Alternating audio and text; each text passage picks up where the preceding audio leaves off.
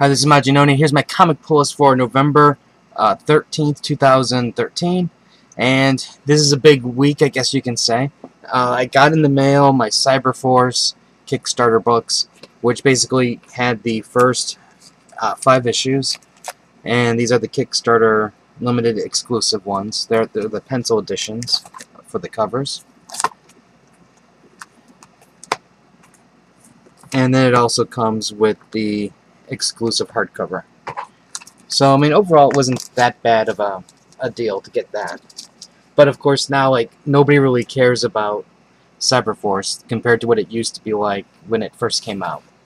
But anyway, let's get to the rest of my pool. And also, I got some BlizzCon stuff at the end, too. Uh, we have Marvel's Cataclysm Ultimate Comics Spider-Man number 1.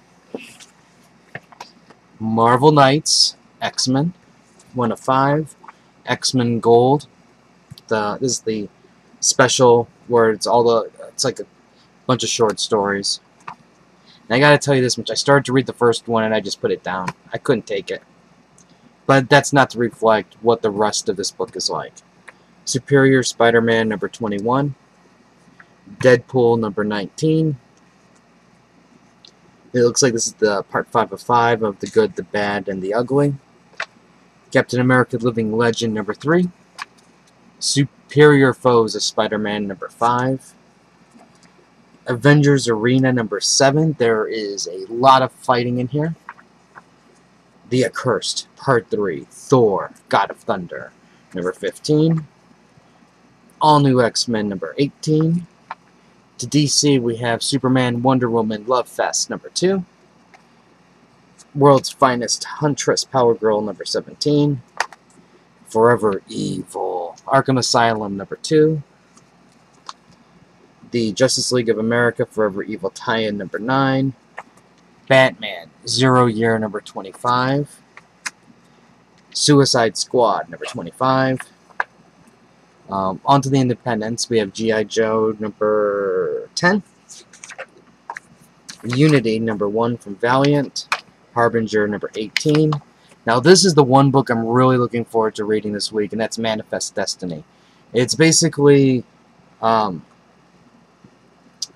you know, telling uh, what those uh, Lewis and Clark as they're exploring the United States West, and instead of meeting, you know, the the traditional Indian stories, it's uh, monsters. So I'm really, really looking forward to uh, reading this one. Then there's The Walking Dead Trade, Volume 19, March to War.